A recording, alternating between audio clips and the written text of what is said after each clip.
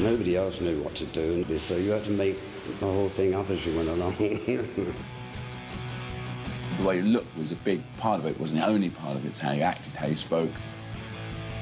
Days of playing in a suit are over, and it's also bloody uncomfortable. Even though we didn't really do that many shocking things in the early days, people were easily shocked.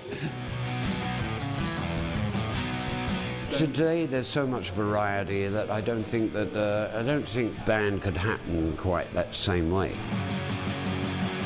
To me, it's just in a day's work. the Rolling Stones are arguably the most renowned and enduring band of all time. Their music has spanned over five decades, influencing generations. Yeah, I think it's good. You know, 50 years, it seems an awfully long time, but it seems to have gone very, very quickly good looking back. Oh, it's quite amusing, uh, when it, except when it isn't, of course. but mostly it's good. To this day, the band is still going strong, selling out tours around the world and releasing albums that still top the charts.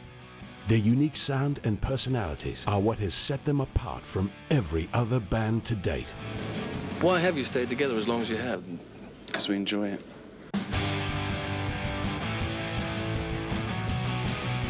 This is another insight into an ongoing machine and institution that will never stop rumbling. I mean, it's one of the most important rock bands in so far in music history. I mean, yeah, you can't really deny that.